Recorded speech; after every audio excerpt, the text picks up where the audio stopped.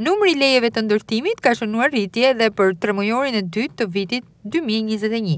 Referuar të dhënave të Institutit të Statistikave, mbi lejet e ndërtimit për këtë hark kohor janë dhënë treqind e dyzet e shtatë të tilla, një rritje me gjashtëdhjetë e gjashtë për qind krahasuar me të njëjtën periudhë të vitit të kaluar, i cili regjistroi dyqind e nëntë leje ndërtimi.